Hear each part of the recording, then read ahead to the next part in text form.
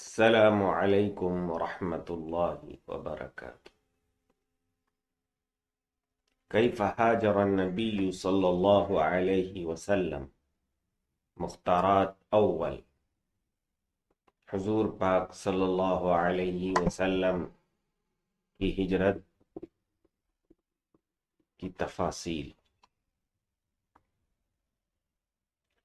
ان عائشة زوج النبي صلى الله عليه وسلم قالت، لم اعقل ابوي قط الا وهما يدينان الدين.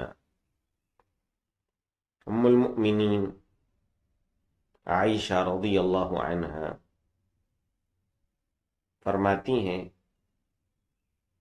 لم اعقل ابوی قط.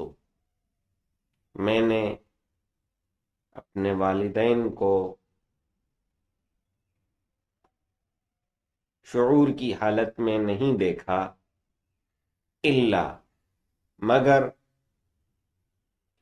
یہ کہ وہما یدینان الدین وہ دین کو اختیار کرتے ہیں۔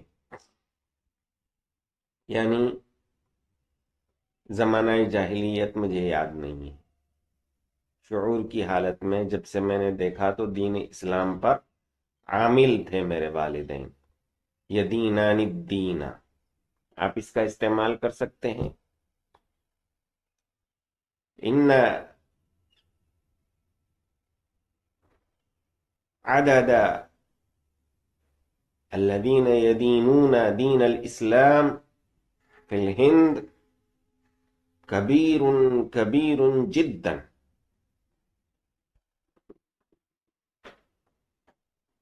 لم اعقل ابوی قط، میں نے کبھی نہیں دیکھا اپنے والدین کو شعور کی حالت میں. عقل عقل میں نے سمجھنا اللہ مگر اس حال میں کہ وہ دین کو اختیار کرتے ہیں. ولم يمر علينا يوم إلا يأتينا فيه رسول الله صلى الله عليه وسلم. طرفي النهار بكرة وعشية اور کوئی دن نہیں گزرا ہمارے اوپر، مگر حضور اس دن میں تشریف لاتے، دن کے أول اور آخر میں طرفی النہار دن کے دونوں کناروں پر مطلب صبح شام بکرتا و عشیہ اسی کا بدل ہے طرفی النہاری کا بدل ہے۔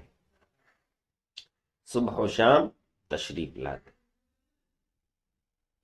آپ کہہ سکتے ہیں لا يمر علي يوم إلا أطالع فيه عشر صفحات. من الكتاب باللغت العربیہ کوئی دن نہیں گزرتا ہے، مگر میں دس صفحہ پڑھتا ہوں۔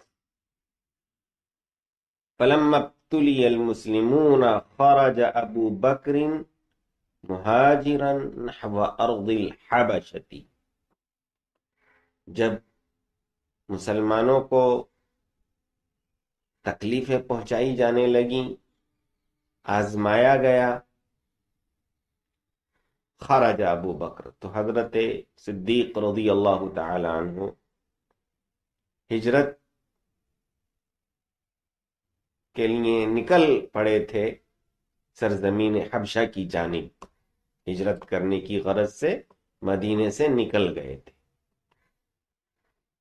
حتی اذا بلغ برک الغماد لقیہ ابن الدغنتی وهو سید القارتی جب حضرت صدیق برک غیماد ایک مقام پر پہنچے مدینے کے باہر ہجرت کے لیے نکل چکے تھے، جب برک غیماد میں پہنچے تو ابن الدغنہ کی ان سے ملاقات ہوئی، جو قبیلہ قارا کے سردار تھے۔